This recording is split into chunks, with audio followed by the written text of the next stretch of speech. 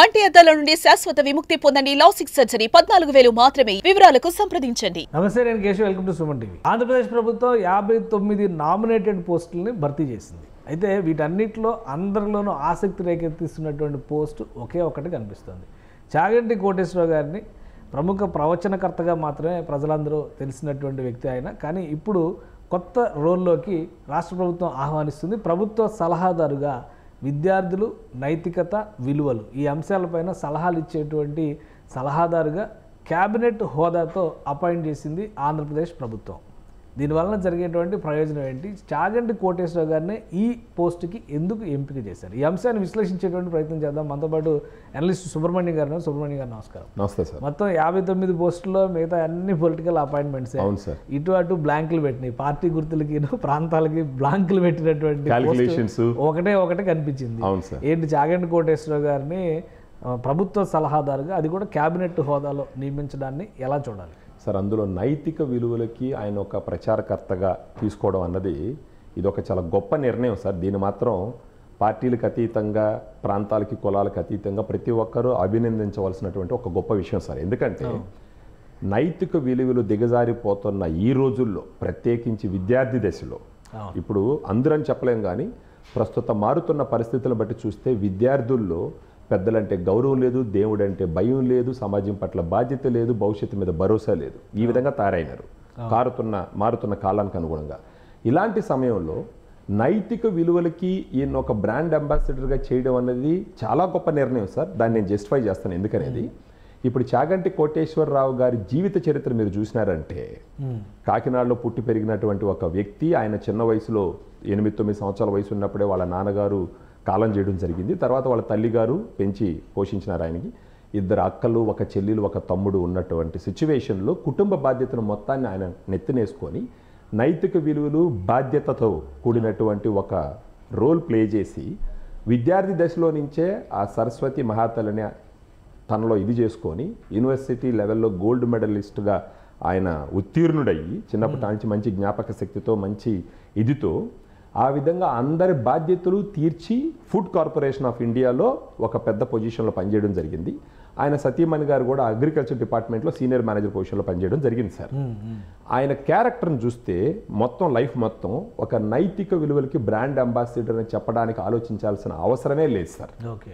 ఇప్పుడు మనకు తెలుస్తున్న విషయం ప్రకారం ఏంటంటే ప్రత్యేకించి ఇప్పుడు సనాతన ధర్మం గురించి హిందూ దేవుళ్ళ గురించి హిందువులు పాటించవలసినటువంటి పద్ధతులు నియమాల గురించి ఆలోచించడానికి చూస్తే ఎక్కడో మనం బయట ఇది బయోస్కోప్ పెట్టే లేదంటే ఒక ఇది పెట్టి ఎతికినా కానీ దొరకని ఈ రోజుల్లో చాగంటి కోటేశ్వరరావు లాంటి వారిని దీనికి తీసుకోవడం అనేది గొప్ప నిర్ణయం. మీరు చూసినారంటే సార్ నలభై రెండు రోజుల్లో ఆయన రామాయణాన్ని నలభై రెండు రోజుల్లో భాగవతాన్ని ముప్పై రోజుల్లో వచ్చేసి శివపురాణాన్ని నలభై రోజుల్లో వచ్చి శ్రీ లలిత సహస్రనామ స్తోత్రాన్ని ప్రబోధించి పండితులు పామరులు అందరూ ఆయన అభినందించే విధంగా ఆయన క్రెడిబిలిటీ ఎస్టాబ్లిష్ చేసుకున్నటువంటి ఒక గొప్ప వ్యక్తి. మానవ ధర్మం మీద ఉన్న ఆసక్తితో అష్టాదశ పురాణాలని ఆయన అధ్యయనం చేసి ప్రతి ఒక్కరికి తనదైన శైలిలో చెప్పి అందరూ మనసు దోచుకున్నటువంటి గొప్ప వ్యక్తి. ఈవెన్ ఒక చిన్న ఎగ్జాంపుల్ చెప్తాను సార్. పివి నరసింహారావు గారు ఒకసారి ఆయన కలవడం జరిగిందంట ఏదో సందర్భంలో. అప్పుడు పివి నరసింహారావు గారు వచ్చేసి నేను ఇప్పుడు ఒక మంచి స్థితిలో ఉన్నాను మీ ప్రవచనాలు నాకు బాగా నచ్చినాయి మీకు ఏదైనా సహాయం కావాల్సి ఉంటే చెప్పండి నేను చేస్తాను అని అంటే ఒక చిరునవ్వుతో ఆయనకి నమస్కరించి మీకు నాకు కూడా ఆ పరమాత్ముడే సహాయం చెయ్యాలా? అని చెప్పి సున్నితంగా తిరస్కరించి బయట వచ్చినాడంట అంటే ఒక పేద కుటుంబం నుంచి వచ్చి కుటుంబంలో ఉన్న వాళ్ళందరికీ బాగోగులు చూసి తర్వాత తను నమ్మిన ధర్మం మీద పది మందికి ప్రవచనాలు ఇస్తూ అందరినీ ఒక సన్మార్గంలో నడిపిస్తూ ఆయన చేస్తున్నటువంటి కృషి చాలా ముఖ్యమైనది. ప్రత్యేకించి ఈ రోజుల్లో ఉన్న విద్యార్థి దేశంలో అసలు నైతిక విలువలే లేకుండా అంటే ఒక లెక్క లేకుండా ప్రవర్తిస్తున్నటువంటి ఈ రోజుల్లో ఈయన లాంటి ఆయన్ని పెట్టి ఆయన ద్వారా మన పురాణాలకు ఉన్న గొప్పతనము ప్రవర్తించవలసిన ప్రవర్తన నడుచుకోవాల్సిన విధానం గురించి ప్రబోధిస్తే గనక ఒక వంద మందిలో పది మందిని మారినా కూడా ఒక గొప్ప కార్యక్రమం అవుతుంది సార్ అది. కానీ అంటే ఒకటి ఇప్పుడు ఆయనని గతంలో వైఎస్ జగన్మోహన్ రెడ్డి గారి ప్రభుత్వం అధికారంలో ఉన్నప్పుడు కూడా టీటీడీ బోర్డు అంటే ప్రభుత్వం డైరెక్ట్గా కాకపోయినా కానీ టీటీడీ బోర్డు సలహాదారుగా నియమించుకునేటువంటి ప్రయత్నం ఒకటి జరిగింది. అవును సార్. ఆయన అది ఆయన స్వీకరించలేదు. అంటే రాజకీయ కోణం ఆయన మీద పడడం ఇష్టం లేక తిరస్కరించడం జరిగింది. ఇప్పుడు కూడా ఏమవుతుందో తెలియని పరిస్థితి సార్. వాళ్ళైతే అనౌన్స్ చేసినారు. కానీ ఖచ్చితంగా ఈయన ఇప్పుడు దాన్ని అంగీకరించి చేస్తే మాత్రం మన ఆంధ్రప్రదేశ్ అదృష్టం చేసుకున్న దానిలాగా చూడాలి సార్ మనం. అంటే అప్పటి దానికి ఇప్పుడు తీసుకున్నటువంటి ఈ పొజిషన్కి ఏమైనా తేడా ఉందా?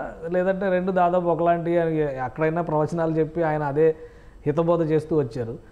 ఇక్కడ కూడా అలాంటి కార్యక్రమాలే ఉంటాయని అనుకోవాలా? ఎందుకంటే ఇది స్టేట్కి అడ్వైజర్ స్టేట్ గవర్నమెంట్కి ఆయన అడ్వైజర్గా వస్తారు అవును సార్. సార్ ఇప్పుడు దీంట్లో ఆయన వ్యక్తిగత ఆలోచన ఎలా ఉందో మనకు తెలియదు సార్. గత ప్రభుత్వం మీద ఆయనకున్న వైఖరి ఏంటో మనకు తెలియదు అన్ని చెప్పరు కదా సార్. వాళ్ళకంటూ ఒక అభిప్రాయం ఉంటుంది. మీరు చూసినారంటే గత ప్రభుత్వం టైంలో హిందూ దేవాలయాల్ని అవమానకరించడం దేవుళ్ళని ఇది చేయడం ఎన్నో జరిగినాయి. బహుశా ఈ ఆధ్యాత్మికత ఉన్నటువంటి ఈయనకి ఇది నచ్చి ఉండకపోవచ్చు బహుశా సున్నితంగా తిరస్కరించి ఉండొచ్చు.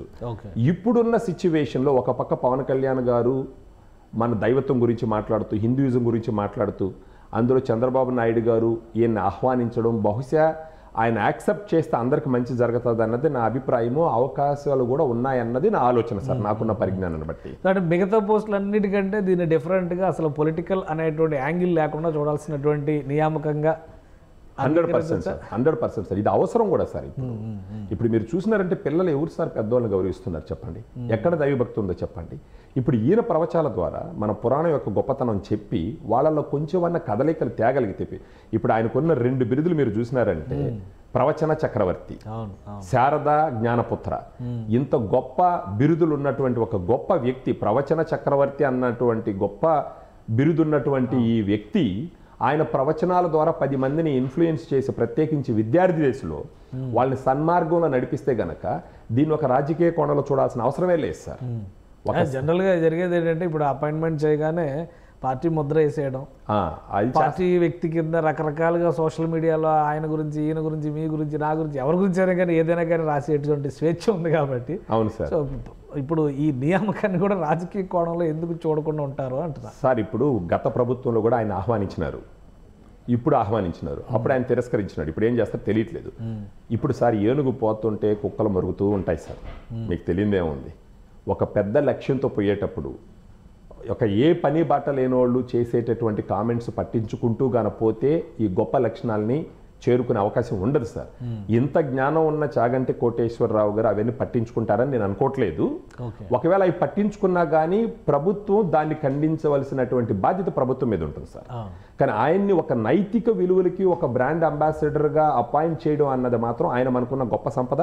ఆయన ఒక నైతిక విలువలకి అంబాసిడర్గా అపాయింట్ చేయడం అన్నది మాత్రం ఒక థాట్తో చేసినటువంటి పనిగా ఒక గొప్ప ఆలోచనతో చేసిన పనిగానే మనం గుర్తించాలి సో సార్ రాజకీయాలతో సంబంధం లేకుండా ఒక మంచి ఆలోచనతో మెరుగైన సమాజం అనేటువంటి యాంగిల్లో చాగంటి కోటేశ్వరరావు గారు లాంటి వ్యక్తుల్ని సమాజంలో ఒక మంచి స్థితిలో పెడితే ఒక రోల్ మోడల్గా ఉంటారు.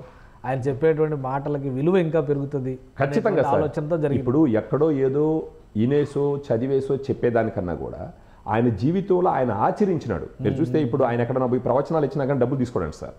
అవును. అది పివి నరసింహారావు గారు లాంటి వాళ్ళు సహాయం చేస్తానని చెప్పినప్పుడు మీకు ఆయన అంత గొప్ప మనిషి. మీకు నాకు ఆ పరమాత్ముడే సహాయం చేయాలి? నాకేం వద్దని చెప్పేసి తిరస్కరించి వచ్చినారంటే పేదవాడు అయ్యుండి కూడా ఆయన నైతిక విలువలకి ఆయన ఇచ్చేటటువంటి గౌరవం ఏంటనేది మనకు క్లియర్గా అర్థమవుతుంది.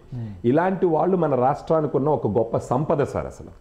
ఆ సంపదని గాన వాడవలసిన విధంలో వాడుకొని పది మందికి మేలు చేసే విధంగా గాన ఇప్పుడున్న ప్రభుత్వం నిర్ణయం తీసుకొని ఆయనకి సహకరించి ఆయనకి ఇవ్వాల్సినటువంటి ప్రోత్సాహాలు ఇచ్చి కానీ చేస్తే ఖచ్చితంగా కొంతమంది విద్యార్థుల ఆలోచన విధానం మార్చినా కూడా కొత్త భవిష్యత్తు నిర్మించుకునే దానికి అవకాశం ఉంటుంది sir. Right right thank you Subrahmanyam garu విశ్లేషణ అందించినందుకు. ఇది చాగంటి కోటేశ్వర గారి నియామకం వెనకాలే ఒక వ్యూహాత్మకమైనటువంటి ఆలోచన ఉంది. ప్రస్తుత సమాజ పోకడల్ని సరిచేయాలంటే ఖచ్చితంగా అలాంటి వ్యక్తులు విద్యార్థులకి రోల్ మోడల్గా మారాల్సినటువంటి అవసరం ఉందని రాష్ట్ర ప్రభుత్వం భావించింది. అందుకనే కలెక్టివ్గా ఈ కూటమి ప్రభుత్వం తీసుకున్నటువంటి నిర్ణయం చాగంటి కోటేశ్వరరావు గారిని రాష్ట్ర ప్రభుత్వ సలహాదారుగా ముఖ్యంగా విద్యార్థులు నైతికత విలువలు ఈ అంశాలకు సంబంధించినటువంటి సలహాదారుగా కేబినెట్ హోదాలో నియమించారు. కాబట్టి ఆయన స్వీకరిస్తే రాష్ట్ర ప్రజలు అదృష్టం అనేటువంటి మాట సుబ్రహ్మణ్యం గారు చెప్తున్నారు.